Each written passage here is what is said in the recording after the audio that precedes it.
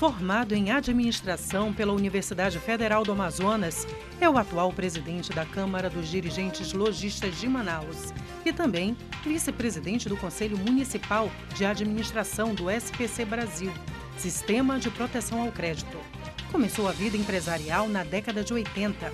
Natural do Amazonas, é casado e pai de dois filhos. Para falar, entre outros assuntos, o balanço do comércio em 2017 o aumento do número de empregos neste fim de ano, a inadimplência no mercado local e as expectativas da economia para o próximo ano, Ralph Baraúna Sayag é o convidado desta noite do Roda Viva Amazonas.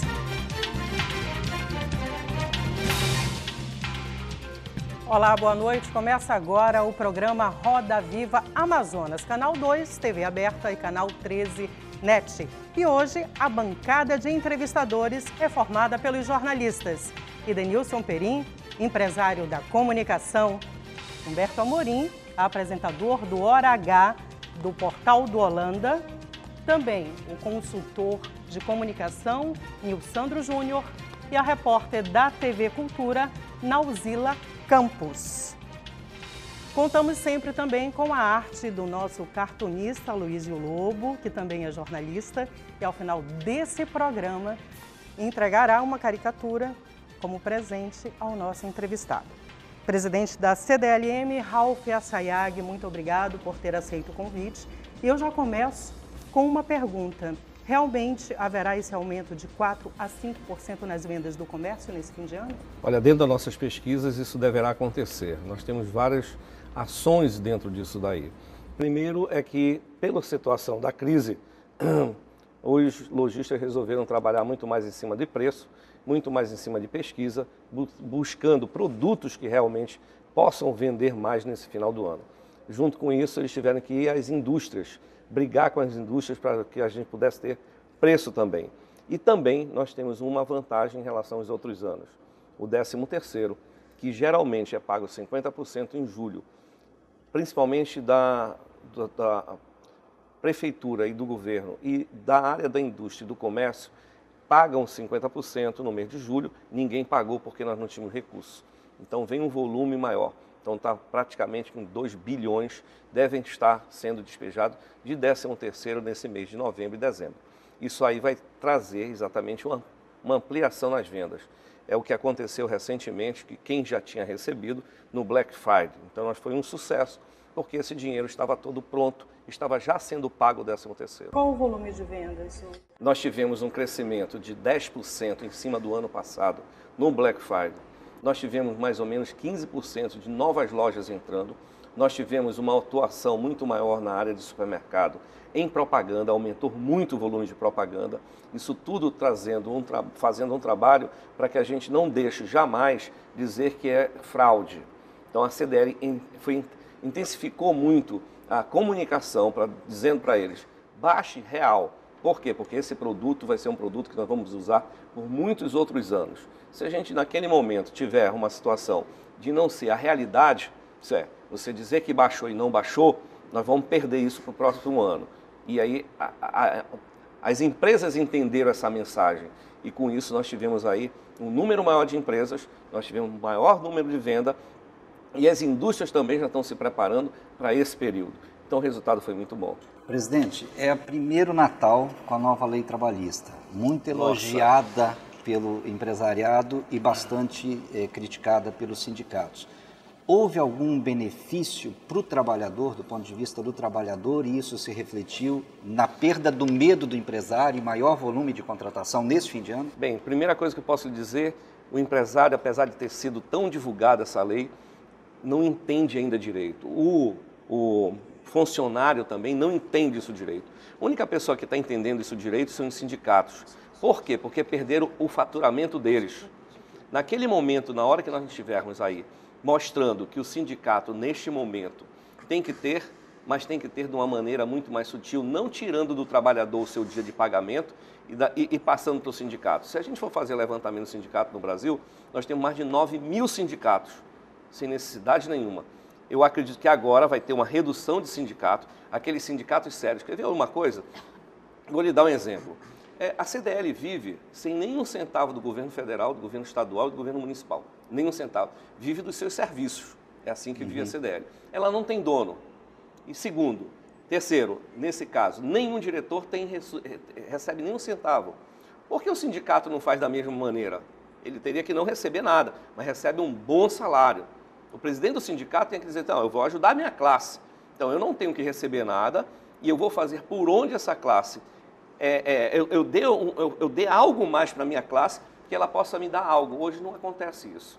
Então eu vejo que essa lei trabalhista, que cada vez mais nós estamos estudando, estamos dando palestra, estamos mostrando realmente, eu acredito na, na, na flexibilidade entre patrão e empregado. Tipo, eu queria trabalhar 10 horas, na lei não pode, agora pode. Eu queria fazer um, um, um, um no horário, eu faço minha faculdade de manhã, mas eu queria no horário das 7 às 11 trabalhar em algum lugar. Antes não pode, hoje eu posso fazer. É, o bar e o restaurante que teria necessidade de ter no final de semana, sexta e sábado, aumenta o volume dele. Ele não podia contratar, agora pode. Então, eu acredito quando nós soubermos a realidade da lei, operar a lei, nós vamos ter mais gente com poder de compra, porque vai ter muito mais gente empregada. Esse final do ano já tem muito, que eu vou lhe dar um exemplo. Os shoppings estão querendo fazer um mutirão chamado viradão. Na lei passada, nós não podíamos fazer isso. Nessa lei, nós estamos discutindo com o shopping e os lojistas para que a gente possa contratar, contratar pessoas que nunca talvez tenham trabalhado, contratar pessoas que já ou já trabalharam e que têm fazendo uma faculdade que precisa.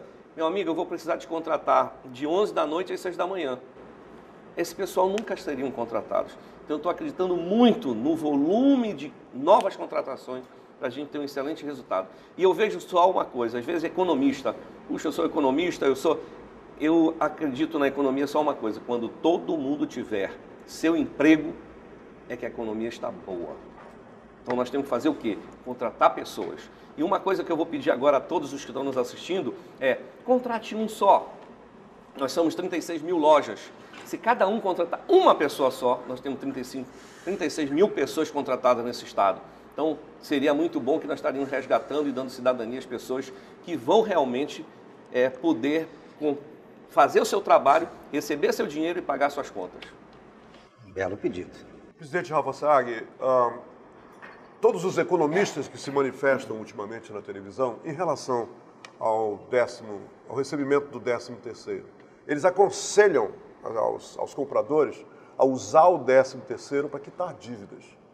Então, eu ainda não vi nenhum economista dizer, ó, pega o 13 terceiro e, e, e, faz compras. E o senhor acaba de mencionar o, o não, recebe, o não pagamento e agora o pagamento em, em milhões de reais do 13 terceiro, e eu entendi que isso vai estimular a compra e não o pagamento é, é, de dívidas. O senhor tem um levantamento no, no no, no, no clube dos, da Câmara dos Diretores Logistas de, de quantas pessoas usam efetivamente o 13º para pagar dívidas e não contrair novas dívidas? É, Humberto, é o seguinte, é, eu posso dar com muita tranquilidade essa informação que você está falando, é que eu sou hoje vice-presidente nacional do SPC. Então, os dados do Brasil todos, eu estou o tempo todo sendo informado. Qualquer oscilação no Brasil, e tem mais, essa informação do SPC hoje nós estamos levando, de novo, ao Banco Central. O Banco Central não tinha isso. Nós estamos levando a, a, a, ao Ministério da Fazenda. Nós fizemos uma parceria, nós estamos dando a informação ao Ministério da Fazenda. Todos os outros anos, ou todos os outros governos, eles não tinham a, a de, de, chegar com a gente e dizer, puxa, vocês têm essa informação? Nós gostaríamos de saber para a gente acompanhar também. Não foram humildes, dessa vez foram humildes de sentar com a gente e a gente mostrar o que é a realidade. A classe D é a classe que fica com maior problema de inadimplência. A classe C também e a classe B. Essas têm inadimplência e recebem 13 terceiro. Essas pessoas, por incrível que pareça, são as que mais gostam de pagar. Ficam preocupadas. Elas entram numa, numa, numa, é, é, naquele momento de inadimplência, mas eles ficam desesperados para pagar. São os melhores pagadores. Então, quando recebe um décimo terceiro, a primeira coisa que ele quer fazer é pagar a dívida. Por quê? Porque sabe que ele ter dinheiro na mão, vamos lá, ele recebeu mil reais de décimo, ele deve 500. Quando ele receber mil reais do 13 terceiro, ele simplesmente é, vai gastar por comprando, mas aí queimou a geladeira dele. Me diga como é que ele vai ter dinheiro ou crédito na praça. Crédito, ele morreu. Então, se ele pega os mil, real dele, mil reais dele e corre lá com 500 e paga a dívida dele, ele volta a ter o quê? Mais do que mil reais. Ele tem o crédito dele estabelecido. E quando ele tem um crédito estabelecido, queimou uma geladeira que ele não vai viver sem água gelada, queimou um fogão, como é que ele vai fazer as coisas dele? Ele precisa de quê? De crédito.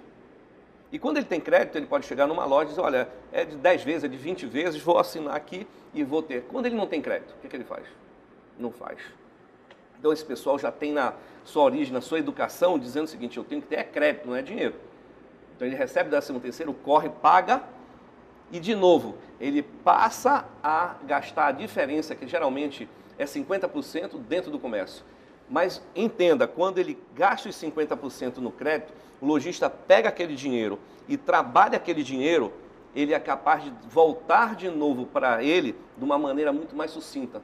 Então, 50% com certeza eles gastam pagando a dívida. Só para singularizar uma coisa que o senhor, o senhor acaba de dizer. O senhor disse que os bons pagadores são da classe C, D, é, D, A, B, C D, é, e BC. E BC. O senhor deixou de fora a, a classe A. O senhor está querendo dizer que a classe A, quando compra crédito, é, se torna uma, uma má pagadora? Uma, uma pagadora. É, Quer dizer, ela... aqueles que mais ganham são os que pagam. Má é, pagadora. É, Infelizmente, é a nossa realidade. Pior. A classe A, muitas das vezes, compra por impulso, mas não gosta de pagar. Então, o maior problema que nós temos é a classe A. Tanto que você tem que ter muito mais cuidado numa ficha técnica. Para você ter uma noção, hoje nós temos uma, uma ferramenta, aquele que você diz no SPC, é, positivo, negativo, aquilo já era, acabou, acabou o mundo. Não existe mais. O que, que, quer dizer Hoje, positivo, negativo? É quando você liga para uma empresa, liga para o SPC, você vai fazer uma venda do celular, crédito. Aí liga para lá e diz, olha, é, o senhor Humberto Mourinho tem... Não, ele, tá negativo, ele, tá, ele já está no ah, negativo. Certo. Hoje não, hoje a gente chama uma, um, um produto chamado Score. Eu vou buscar em décimos de segundo teus últimos cinco anos de vida, tudo que aconteceu, tudo que tu compraste, tudo que tu fizeste, e vou dar uma programação que dentro de um ano a probabilidade de você ser inadimplente ou não, aí eu te dou o crédito. Numa velocidade violenta, buscando tudo, teu histórico todo. Isso daí sim, eu vou dizer, puxa, ele durante um ano há uma perspectiva só de 10% dele ser inadimplente. Vou vender para você. As dívidas são mais é, facilitadas hoje em dia para esse pagamento? Eu não entendi. É, o pagamento dessas dívidas. É, de inadimplente? E, isso. Bem, Há uma só. facilitação dessas, desse pagamento? Nós precisamos criar uma cultura. De juros. Eu preciso criar uma cultura maior. Primeiro nós entramos dentro do sistema e eu disse, puxa, é horrível quando a gente chama o feirão. Vamos fazer um feirão, feirão da dívida, da inadimplência. Aí botam uns galpões, botam um monte de gente nos computadores e esses computadores é, estão alimentados pelo que você tem, aí você fica numa fila imensa vários lugares, às vezes lugar sem ar-condicionado, porque é, é, é, é, em galpão ou, ou em tenda, e eu sempre fui contra isso, sempre fui contra isso. Por quê? Eu digo, puxa, o cara está devendo, ainda tem que entrar numa fila. Se eu não quero entrar numa fila nem para pagar, vou querer para pagar conta atrasada, eu fui contra. E vim batendo, batendo com nossos técnicos. E nesse momento, mas não está ainda ao, o grau que eu gostaria para poder fazer uma divulgação, Nesse momento, nacionalmente, nós conseguimos, via SPC, colocar da seguinte maneira. Você vai entrar numa lan house, você vai entrar no celular, onde você quiser. Você vai entrar e vai verificar onde você tem sua dívida, gratuitamente. Depois você vai ter duas situações. Dizer, eu quero pagar minha dívida em quatro parcelas. Aí o computador, aí o sistema vai dizer, quatro não dá, dá para fazer em três. Mas se eu tirar juro, você vai negociar você vai negociar com a máquina, você não vai negociar com uma pessoa. Por quê? Já foi parametrado tudo que você poderia fazer com aquela pessoa. Você pode ser uma pessoa que já, já comprou, ficou devendo, pagou toda certa, o sistema vai te dar mais vantagem. Mas você pode ser uma pessoa que já negociou, atrasou toda a negociação, pagou, depois você atrasou de novo, e aí você já é uma outra maneira. Aí a parametrização tem que ser da máquina com uma velocidade muito grande. Você vai lançar Fechou, deu no meu bolso. É isso? Dá? Dá. Clica, cai o boleto. Aí você vai a pagamento do boleto. Segundo, o, o brasileiro gosta muito de jogo, de jogar. tudo que é jogo brasileiro gosta. Uma pesquisa que nós fizemos, inclusive nacionalmente, e mostrou o seguinte: eu posso chegar lá com uma Casa Bahia que já começou o processo lentamente, onde é um teste, e que eu acredito muito nisso. Ela vai dizer o seguinte: sua dívida é mil reais, mas eu, Casa Bahia, vou abrir mão de juros, não sei o que, ah, fica em 800. 800 reais é, é o que eu acho que se ele me pagar, está resolvido. Tá bom. Aí você vai lá e vai ter três tentativas de dar lance. Eu, ele não vai enxergar, o, o devedor sabe que é mil. E aí ele vai dizer o seguinte, puxa, primeiro lance, qual é o primeiro lance? Vou botar 500, botei 500. Aí a casa vai, negativo, 500 eu não aceito, você perdeu uma chance. Poxa, eu vou botar 700. Infelizmente, nós não aceitamos. Você perdeu, só tem mais uma chance. Aí o cara diz, cara, eu vou botar 900, era mil, vou botar 900. Quando eu botar 900, por um acaso, a Casa Bahia tinha dito 800. Ela está ganhando mil e está ganhando 100 e ele está ganhando 100 também. Então esse jogo é para que a gente traga para dentro pessoas para quê? Para que a gente possa a, a, ter um volume maior de pessoas que queiram pagar suas dívidas. Isso tudo a gente está criando, porque ir para galpão, nós somos contra. Você pode ir na sua casa, no, aonde você tiver um computador e, e negociar. E aí você não tem que pegar onde, você não tem que pegar, perder tempo, você não tem que fazer nada. E nós temos a tecnologia para isso. Presidente, é, nós sabemos que nos Estados Unidos tem a atividade promocional chamada Black Friday, né? Aqui no Brasil o negócio é meio diferente, porque lá os comerciantes têm os impostos descontados e aqui não tem, e o comerciante brasileiro tem que se virar. Como isso funciona? Como é que o Black Friday funciona aqui no país? Bem, deixa eu te falar, colocar o seguinte. Como é que começou nos Estados Unidos? Eles verificaram que antes do Natal eles precisavam fazer qualquer tipo de venda. E o Natal dele é diferente do nosso, com data diferente do nosso também. Então o que aconteceu? Eles resolveram pegar uma sexta-feira preta, né, Black Friday, e resolveram queimar sem, sem, ter, sem ter noção. E quem começou a queimar foram exatamente a, os, as vendas via é, site. Não eram venda na loja física, não foi isso. E deu um resultado fantástico. No segundo, no terceiro, no quarto ano, quem comprava pela internet, eles baixavam o preço lá embaixo e vendiam muito. A loja física viu e disse, poxa, eu vou perder esse mercado. Correu e fez também. E dali começou a disseminar, foi para o Canadá, foi para outros estados. Nós tivemos no Panamá um resultado que os caras ficam desde sexta-feira já na fila esperando. E o Brasil começou a pegar essa informação e começou a fazer. Iniciou errado. O que é que iniciou errado? Iniciou dizendo que dava o preço, que chamava Black fraude, né? Iniciou errado e nós começamos aqui em Manaus, principalmente, bater. Não faça isso. Nós vamos. Eu disse, eu vou denunciar ao PROCON quem nós sentimos que tem esse tipo de coisa. Então nós começamos a fazer pesquisa nossa e falar para o PROCON. E o PROCON mutar.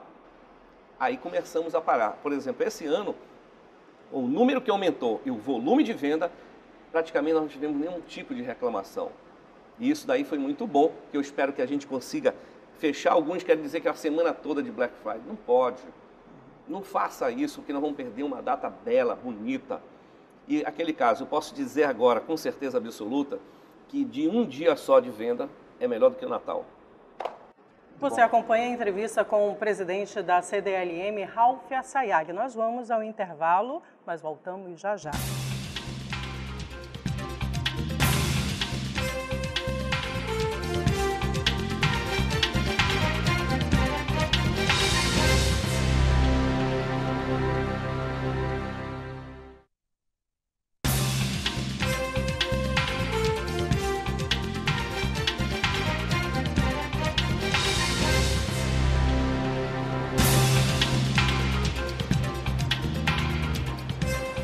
Volta com o programa Roda Viva Amazonas, que hoje fala sobre comércio e economia, com o presidente da CDLM, Ralf Assayag.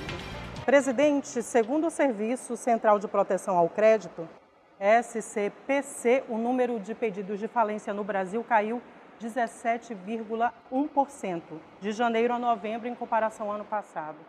Mas o senhor me disse que esse número não é real. É, a realidade disso aí é que nós consideramos loja fechada ou uma falência da loja quando ela fecha a porta. Fechei a porta, demitir funcionário no dia 1 de julho, é aquele momento que a gente acredita.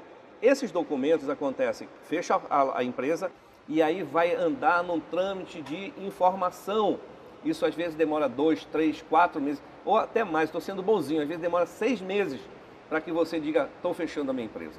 Que são chamadas as falências As falências, é, é, porque existem duas situações. Chamado falência quando eu digo realmente que eu é, não tenho recurso, estou em dívida, estou devendo todos e aí pedir falência.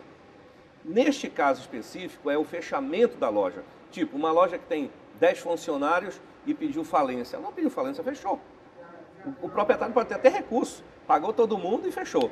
Então, esse daí é o nosso dia a dia. É contar quantas lojas realmente fecharam as portas. Às vezes fechou uma filial, não é falência. Mas fechou uma loja, mas ele tem 10. Fechou duas, fechou quatro. A, a falência é, é quando a empresa toda fechou.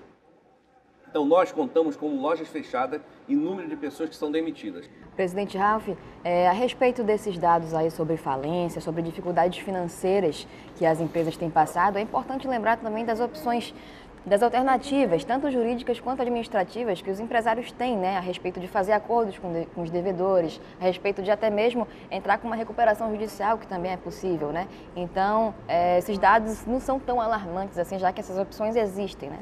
É, mas o comerciante, olha só, às vezes o comerciante, imagina, o comerciante tem que saber de vender, comprar e vender, tem que ser um excelente comprador, um ótimo vendedor, ele tem que ter uma equipe muito boa, então ele tem que estar treinando o seu pessoal, ele tem que saber de milhões de impostos. Para você ter uma noção, esse ano 2017, no mês de, no 25 de maio, foi o dia que nós chamamos de dia do, do, do imposto, o impostômetro que nós estamos falando.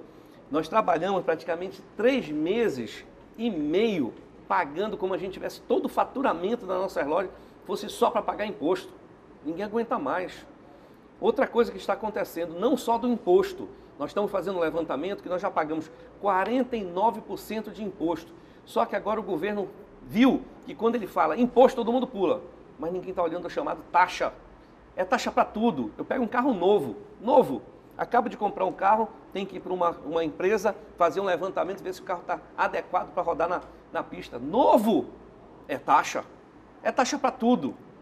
Agora mesmo, as taxas que estavam colocadas, que nós não íamos pagar para ver a poluição, da, desde a motocicleta até o carro grande, novos, todo ano eu vou ter que fazer é, mais taxa. Ninguém aguenta mais taxa. Nós já estamos chegando a 9% de taxa para uma empresa. Quando isso acontece, quem é que vai pagar a conta? É o consumidor. Nós vamos ter que colocar, senão quebra. Então, volume muito grande de imposto, de taxa, todo mundo querendo fazer algo mais para todo mundo ter que pagar, então isso tudo vai para quem? Para o produto. E o produto fica caro. E quem paga a conta é o consumidor, que não poderia estar mais acontecendo. E é importante a gente lembrar também a respeito desses gastos dos lojistas, porque saíram alguns dados logo depois do início da reforma trabalhista acerca da diminuição do índice de ingresso no, no judiciário, né, a respeito de direitos trabalhistas, mas são índices muito antecipados, né? Não, mas acontece um fato, não, não, é bem isso. Existia que ainda, quando entrou a lei, a lei deveria ter sido o seguinte, a partir de hoje, ou a partir do dia que ela for, daqui a 90 dias, deveria ter sido mais desenhada, certo? A partir de 90 dias, tudo que vem para trás continua para trás, e tudo que vem para frente continua para frente, não disseram isso. Aí o que aconteceu no último dia, para que a lei tivesse entraria em vigor, ou a velha ficaria fora, o que é que aconteceu? Nós tivemos um pique imenso, um volume, tipo, a média é 500, foi para 1.000. No dia seguinte, a média que era 500 ficou 1.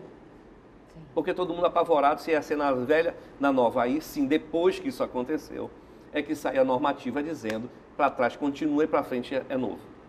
Se não tivesse feito isso, não tinha acontecido esse volume que aconteceu no último dia. Presidente, o senhor falou de imposto e de taxas. Tem outro negócio também que é, é, é um imposto embutido que é pago, inclusive, para contribuintes e para todos, indistintamente, que é corrupção.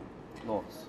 Presidente, o que sente o empresário quando é, vê pelo principal jornal do Brasil, telejornal do país, um empresário oferecendo um anel de 800 mil reais para um, a mulher de um governador e falando que é parcela antecipada da, da obra do Maracanã? Olha, é, é Sentimento. revoltante, é indignação pura. E quando acontece isso, olha só, a maldade com o país não foi feita a maldade do roubo, Não foi a maldade do roubo, foi a maldade de mostrar para essa geração que está iniciando, dizendo que ele roubou um anel de 200 mil euros e que não aconteceu nada. Então, essa juventude, que são milhares ou milhões, vão dizer: puxa, então eu chegar numa loja e roubar alguma coisa, também não vou ser preso. Esse foi o maior mal que essa corrupção fez com o país. Não foi do roubo. Roubou, passou, acabou. Agora, a cultura que foi colocada em cima disso é a maior preocupação nossa. O volume de pessoas que começaram a fazer pequenos furtos aumentou muito depois que viram tanta gente na corrupção desse país. O exemplo Isso, vem de cima para exemplo vem de cima. Esse foi o mal. Esse seria a punição realmente real em relação a isso daí. O grande perda que nós tivemos foi a educação e foi a cultura colocada. O cara meu amigo, você sabe que estava levando isso, eu sei, o cara roubar porque eu não posso mexer.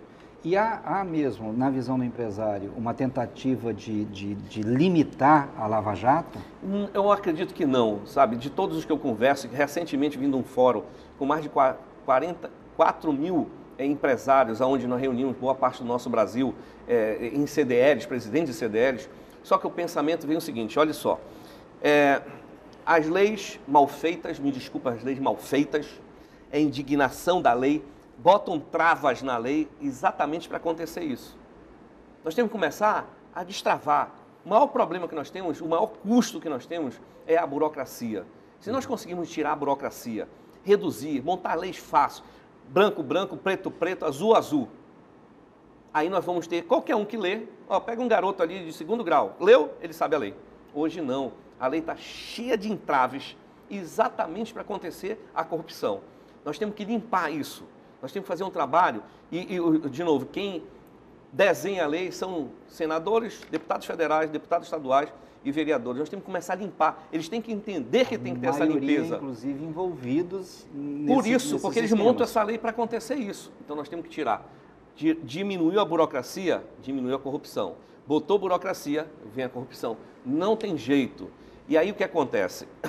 Se nós diminuirmos a burocracia, as coisas vão andar mais fácil.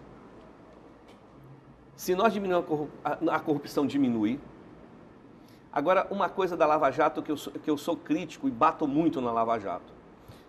Bacana, pegaram, trouxeram dinheiro, prenderam as pessoas que deveriam, que poderiam ser mais, ok. E o que que nós fizemos para ela parar? Qual foi as leis novas que a gente trabalhou para que ela não acontecesse mais? Me diga. Está a mesma lei. Do mesmo jeito. E aí vem, eu vou com, eu faço um levantamento de quais são as empresas que vendem para os governos. Sempre as mesmas. Por que sempre as mesmas? Porque o cara correto, direito, não vai se subordinar às normas que sabe que as normas são prejudicais a eles. Ou ele vai botar um valor maior, ou ele não vai receber. Nós temos que mexer nisso se nós não mexermos nisso, não vai adiantar nada. Batemos palma, muro, legal. E o futuro? Vai ser é, eterno muro lá? Não. A lei tinha que ser modificada de uma maneira forte para que a gente pudesse rever e não acontecer mais isso. Aí eu digo, poxa, bacana Lava Jato. Nós Presidente, precisamos fazer leis melhores para isso. Presidente Rafa Sayag, eu, eu tenho, em, em termos pessoais, um viés uh, antigo com o turismo é, do Amazonas e da cidade de Manaus. Eu, para preparar o dever de casa para essa entrevista com o senhor, eu dei um passeio pelo centro ontem e o que eu vi foi o seguinte: uma zona não muito franca, uma zona liberada de tudo. Eu vi ontem no centro de Manaus coisas absurdas. Primeira coisa, os camelões estão, é, não é pouco a pouco não, rapidamente voltando a ocupar aqueles espaços que não que foram clareados pelo atual prefeito Arthur Neto.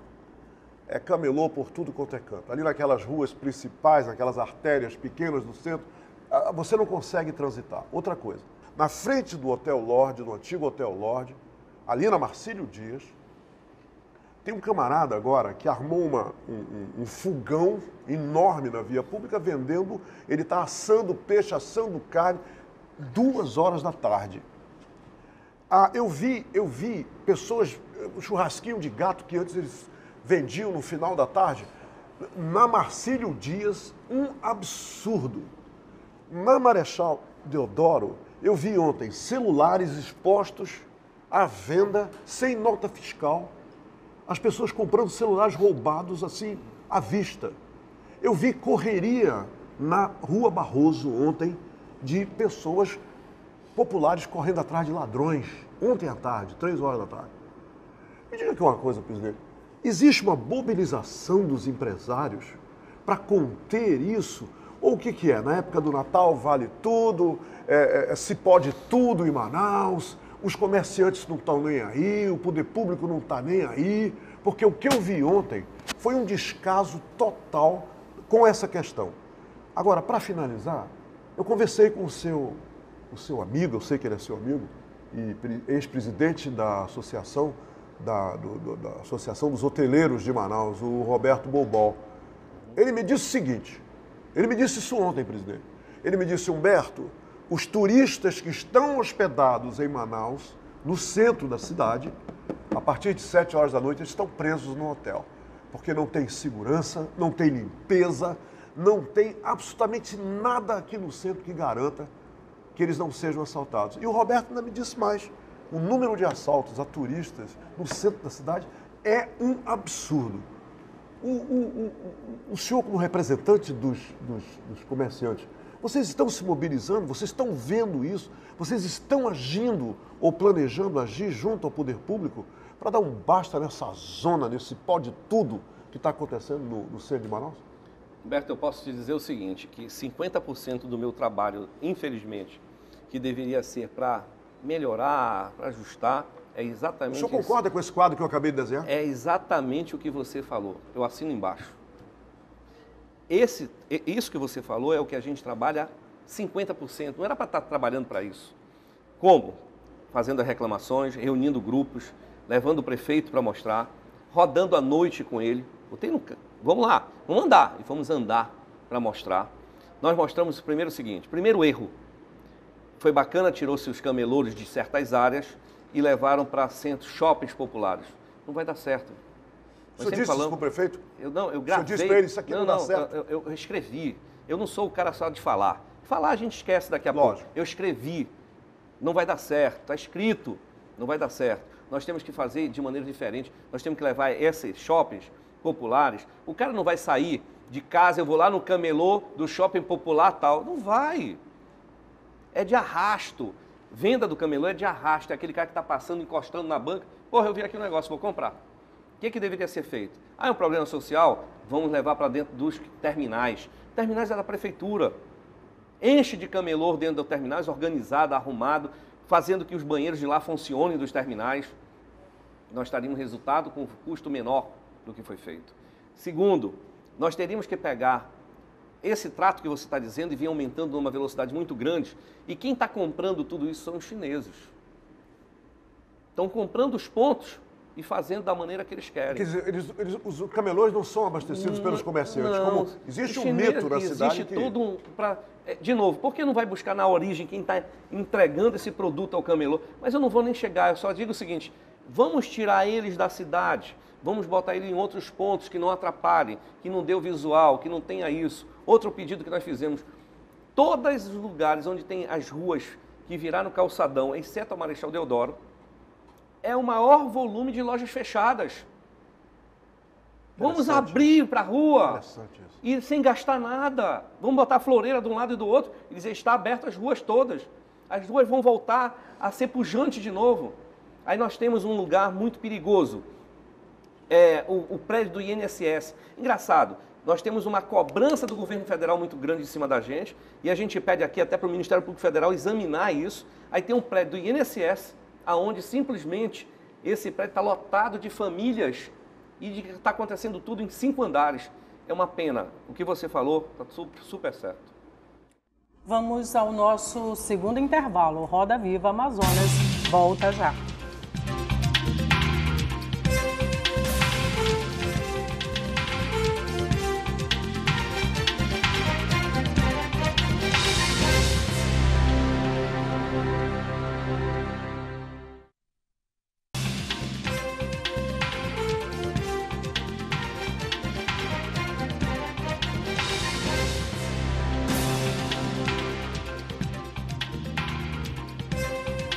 Roda Viva está de volta para o último bloco. Estão comigo nesse debate os jornalistas Idenilson Perim, empresário da comunicação, Nauzila Campos, repórter da TV Cultura, Humberto Amorim, apresentador do Hora H, e também o jornalista Nilsandro Júnior, que é consultor de comunicação. Conosco também o nosso cartunista e jornalista Luísio Lobo, que daqui a pouco vai entregar uma caricatura né, ao nosso entrevistado, Ralph Assayag.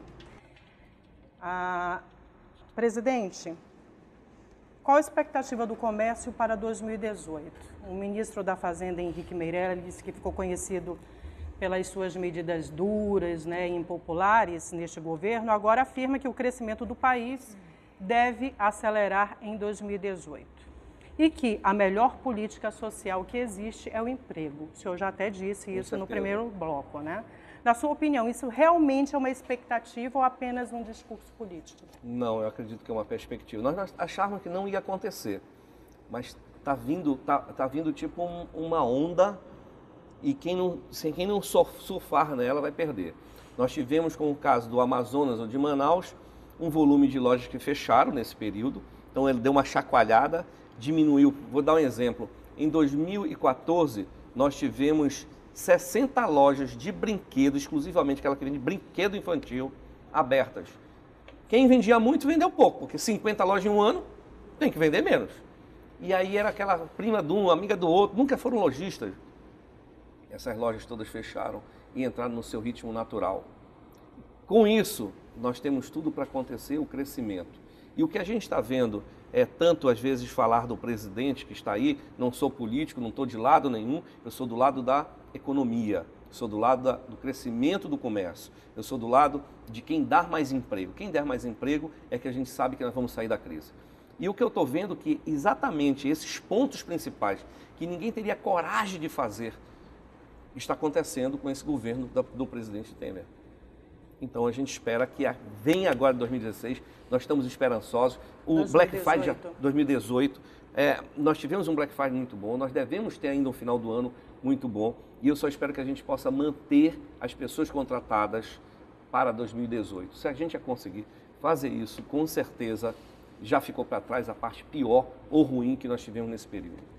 Presidente Rafa Sayag, em 2016 nós tivemos o auge da crise. Aqui no Amazonas foram fechadas em média 300 lojas, né?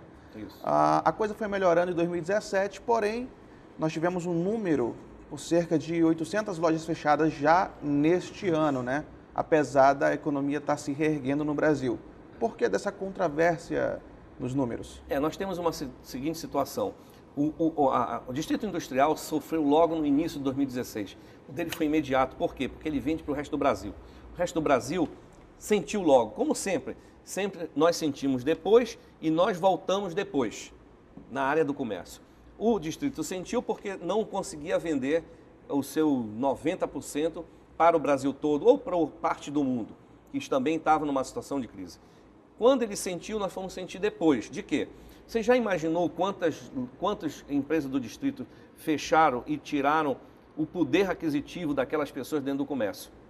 Depois nós pegamos os grandes diretores, aqueles que tinham residências com certo valor econômico maior, que vão no comércio, que compram mais, que vão em grandes lojas do, do classe A a saíram do Amazonas, porque tiveram que reduzir custo. Quando eles reduziram esse custo, nós fomos sentir depois esse impacto. Tanto que você verifica que o número de lojas, o número de, de, de casas aluga-se vende, se aluga-se vende, se for fazer na lista, é grande parte de grandes empresários do distrito ou de grandes diretores ou de pessoas que estavam dentro do distrito alugando essas residências. Saiu tudo. Nós perdemos isso. Aí o impacto veio aonde? 2017. No início de 2017 saiu fechando lojas. Fechando. Aí nós nos apavoramos com isso. Por quê? Porque acharmos que se nós tínhamos cortado na carne X, nós tínhamos cortado 2X. Foi o que nós fomos até o governo e dissemos: governo, vocês têm que cortar na carne. Se cortou 20, corta 50. Não acreditaram na gente. E nós fomos e levamos um relatório sobre isso. Nós levamos todos os 17 diretores da Federação, da, da Câmara de Logista e da CDL. Levamos em loco e mostramos, para você ter uma noção, Os 10 maiores pagadores de CMS do Estado são diretores da CDL e da FCDL. Então, essas pessoas que dão maior volume de emprego, que dão maior pagamento de impostos, sentaram lá e disseram o seguinte: puxa, cadê, a, a, a cadê o resultado? O governo não fez o seu dever de casa. Não fez nada. Presidente, é, como o senhor, como a gente começou falando aí é, da expectativa para 2018, é, não, é preciso, não é preciso dar nenhuma aula sobre a crise de 2016, como o senhor acabou de falar, né? Então, assim, é, é, existem os bens duráveis de consumo e os bens não duráveis, né? Que são aqueles que, que são gastos na, no, mesmo momento da compra. Então, assim, em 2016 as pessoas evitavam é, comprar esses bens duráveis. Ao invés de comprar um celular, uma moto, um carro, as pessoas compravam a comida do mês porque não tinha dinheiro para gastar demais. Né? Então, já que o país já está se reerguendo, a economia já está voltando a crescer, eu só acredito que as pessoas vão aproveitar para gastar mais, comprar um celular, comprar uma moto? Então, deixa, deixa eu ajudar na tua pergunta. Olha só. Hum. Quando não tiveram recursos mais para comprar um celular novo, que vinha todos os anos, ah, iPhone 3, 4, 5, 6, todo mundo querendo novidade, eles passaram a cuidar mais e quando quebrava, ele levava na assistência técnica. Sim, e a assistência técnica tinha um, um, um, um, técnico, vai ter que comprar, contratar um, dois, três, quatro, A manutenção cinco. que ganhou com isso. O serviço ganhou com isso, muito. O, o cara estava arrumando o sapato. Ah, o sapato abriu? Não, cola. Mete, um parafuso, mete qualquer coisa, mas o serviço ganhou muita força. E as pessoas consumistas, aquela que pega o celular, joga fora, pararam de fazer isso e começaram a entender uma educação. Primeiro, Segundo, o empresário teve que começar a olhar que ele tinha que cortar a luz, que ele tinha que cortar água, que ele tinha que olhar as planilhas. Foi uma educação na marra. O funcionário teve que verificar que aquele que dizia assim: Ah, o senhor me olhou de cara feia, eu quero minhas contas. Teve que entender que naquele momento ele pega as contas, ele não consegue outro emprego. Então, para mim, eu acho que foi uma grande aula disso tudo. Nós aprendemos muito sobre a situação da crise. E dentro da crise, aqueles que foram mais espertos cresceram. Você vê o Airbnb, aonde simplesmente eu achava, puxa, como é que vai ser? Vou alugar um apartamento? Não, entra na minha cabeça. Aí nós vamos verificar o quê? Que agora tem profissionais que são administradores do Airbnb. Como? Ele chega lá, negocia, te entrega a chave e verifica se o apartamento está todo certo cresceu o serviço. O serviço deu um boom muito grande em cima disso. Então, eu acredito muito que o serviço veio, eu acredito que a crise veio ajudar a gente organizar um pouco que estava muito. Educou o consumidor. Não tanto como eu gostaria, mas, mas educou. Presidente. A todos. Presidente, eu tenho uma impressão. Eu queria ver se o senhor me esclarece se eu estou certo ou, ou se é falsa ou positiva essa minha impressão. Eu, eu, eu atuei alguns alguns anos como assessor de comunicação da Amazonas Energia e da Manaus Ambiental. Durante esse período, eu tive duas reuniões representando essas empresas com a Associação dos, do, do, dos, dos Lojistas do Vieira Alves. Então, eu tenho na minha cabeça, e, e eu não questionei nunca ninguém sobre isso, vou questionar o senhor agora, é, surgiu a oportunidade, que é, parece que é uma ACA, para, que é, uma, é um CDL paralelo ali a Associação dos Lojistas do Vieira Alves, porque eles estão enfrentando todo tipo de problema, violência, lojas fechadas e, e uma série de coisas. E eu, eu jamais vi, o, o, por exemplo, o senhor, o representante da, do CDL, lá nessas reuniões com, o, tudo, eh, com a Associação do Vieira Alves. Agora mesmo eles estão preparando uma grande movimentação para incentivar compras durante o Natal. É, é, é, isso mesmo? Existe duas entidades Olha, paralelas, não, o CDL e, e a Associação não, do Vieira Alves é, é, tem, tem, tem é, objetivo, gols diferentes? Não é bem isso. Eu acho que eles criaram naquele momento um grupo de pessoas, de empresários daquela região. Só que existe um fato, sabe, Humberto? Se eu pegar um graveto sozinho e plaf, ele quebra. Se eu botar 10, 20, 30, tu não quebra mais.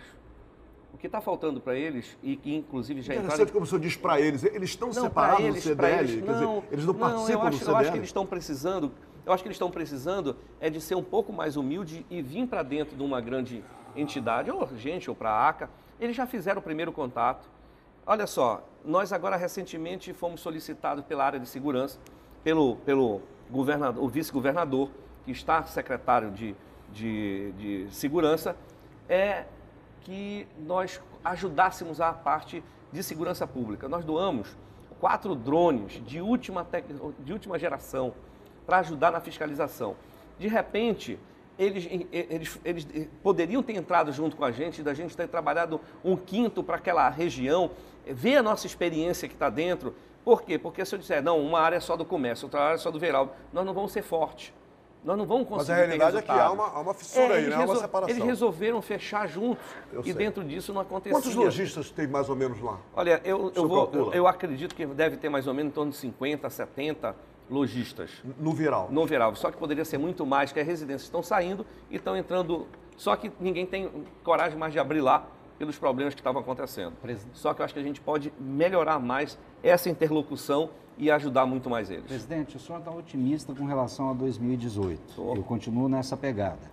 Mas o, o Lula sobe nas pesquisas, a Bolsa cai. Bolsonaro sobe nas pesquisas, a Bolsa cai. Aécio cai no grampo da Polícia Federal, a Bolsa cai. Qual é o perfil é do candidato? O perfil, não o nome, só falou que não, não, não, não é político. Qual o perfil do candidato melhor para o Brasil para tirar o, o país Olha, da crise? De novo, eu falei aqui, eu não sou político, não sou filiado e eu vejo só uma coisa. Quem estiver colaborando com o Brasil, quem estiver colaborando com o comércio e quem estiver colaborando com as pessoas para poder ter seu emprego, isso? Eu digo o seguinte: só vejo uma pessoa hoje. Essa pessoa é Henrique Meirelles. Se colocasse, se Deus nos deixar vir um homem como esse, e vai existir um fato as bolsas não vão subir, o dólar vai se manter e a, e a, e a, e a, a, a pessoa dele vai trazer uma tranquilidade econômica do mundo em relação ao Brasil. Vão ter mais investimentos, vão ter, porque todos os posicionamentos que ele fez é aquilo que o comércio gostaria que fosse que acontecesse.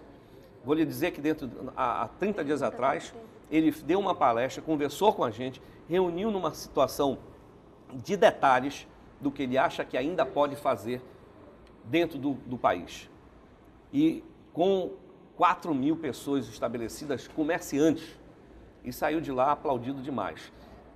Pelo que eu vejo, o que ele fala, ele faz. Quando ele não faz, é que não deixam ele fazer em relação aos políticos. E como que se colabora? Votando. Como que, como que o presidente, o futuro presidente, vai colaborar com a, com a, com a situação? O senhor falou quem colabora com o mercado. Olha bem, quando, quando, quando existe uma situação de arrumar a economia duramente, cortando, organizando, ajeitando a casa, olha bem, o país é uma grande empresa. Eu tenho que fazer cortes, eu tenho que deixar benefícios que têm que ser cortados. Você está vendo aí da Previdência essa luta toda? E, e dizem sempre, não, o, o vai sofrer. O, será que é justo você pegar uma pessoa que, que paga no máximo e recebe depois 3 mil, 4 mil reais, e de outros que, que ganham 30 mil reais vão continuar recebendo 30 mil reais. Acho que a gente tem que dar uma mexida nisso, é, é necessário. Outra coisa, tem que jogar na, na, na sociedade com a verdade. É, é bom para a sociedade? Eu, o que eu digo sempre, uma lei burra é a lei que não serve para a sociedade. Se a sociedade vai ficar mal por causa dessa lei, nós temos que mudar. Então eu vejo uma pessoa que tem um conhecimento profundo da área comercial, que tem uma trajetória de currículo fantástico. Os bancos, quando botam ele, é ele que cresce o banco, não o banco que cresce por causa dele. Então eu vejo numa pessoa muito boa. Ou se tiver outro, com esse mesmo aí, acho bacana. Presidente, rapidinho. Quero agradecer eu, eu, a todos. Artemisa, por favor, um nós, minuto só. Um minuto só. Eu não resisto. Eu não resisto. Presidente, eu nunca vi uma campanha de, de premiação aos adimplentes fim do ano, sempre premiam os inadimplentes, dizendo você vai ganhar 60% de, de, de desconto, 70% de desconto. Aí, será que isso não estimula o cara a não, a não pagar? Porque ele chega no fim do ano e sabe que vai ter esse 60% de bônus? Infelizmente, ele, ele não gostaria de ser inadimplente. Ele gostaria de ser adimplente. Infelizmente, ele aconteceu algo com a, com a vida dele. E eu entendo essa sua e, pergunta, isso é que, que me maltratam. Que é com todo mundo? É 90% e nós temos que ajudar. É a mesma coisa quando o governo faz o refins. Você acha que eles não contam quando, com esse desconto no Quando o governo faz o refins para as empresas, ele diz o seguinte: pô, a empresa que paga certo, a minha paga certo. Obrigada. Entendo. Obrigada. Ok, obrigado. Nós temos que fazer. Obrigado, obrigado. obrigado. Quero agradecer a presença de todos os jornalistas dessa bancada. Vocês abrilhantaram essa noite. Primeiramente, Denilson Perim, diretor Obrigado. de comunicação. Nauzila Campos, repórter aqui da TV Cultura, Humberto Amorim, apresentador do Hora H, Ei. e Nil Sandro Júnior, que é obrigado. é consultor de comunicação. Não e... poderia deixar de agradecer a sua presença, presidente da CDLM, Ralf Assayag. O senhor tem um minuto para as suas considerações. Olha, primeiro eu queria agradecer a, a vir aqui a essas perguntas que muitas pessoas gostariam de fazer e às vezes não têm oportunidade de fazer. E eu acho que isso é muito bom para abrir um pouco do leque e principalmente quando eu digo é, a, a, toda a imprensa que me pergunta, o que, é que o senhor acha que vai ser? Eu digo, eu tenho que falar muito, muito ajustado. Por quê? Porque tem muito empresário que, pelo que eu estou falando, é o que vai fazer. Vou, vou ampliar minha empresa, vou crescer, eu vou fazer novos lançamentos da empresa. Então eu tenho que ter muito cuidado quando eu falo. Então, por isso, é, passar para vocês as perguntas inteligentes, as perguntas boas, as perguntas que realmente é o que o comércio sente, é o que eu trago de uma confederação que conversa com, com nós todos, o sentimento do comércio em todo o Brasil essa é a, é a oportunidade que eu tive aqui com vocês. Então, a cada um eu agradeço. E uma pena que a gente poderia aqui passar o dia todo né, para passar tanta, tanta informação que o que a gente às vezes acha que faz, mas não consegue fazer todas as informações no mesmo momento. Então, agradeço e agora o nosso cartunista e jornalista, Luiz Lobo, fará a entrega hum. da sua caricatura. Artemisa, parabéns pela estreia, tá? Ah, Excelente obrigada, estreia obrigada. aqui no programa. Parabéns. Você deveria estar aqui hoje, Parabéns. realmente. Parabéns. Gostou da caricatura? Gostei. Mostra aqui pra gente. Uau! Que ótimo. Olha só que legal. Bacana, bacana. Olha, muito bom. Muito bom, parabéns. Muito bom mesmo. Obrigado, Artemisa. Obrigado. E você acompanha o Roda Viva também pelas nossas redes sociais, YouTube, a TV Cultura do Amazonas e o Facebook TV e Rádio Cultura do Amazonas. O Roda Viva vai ao ar todas as quintas, às nove e meia da noite. E você, claro, é o nosso convidado. Até o próximo programa.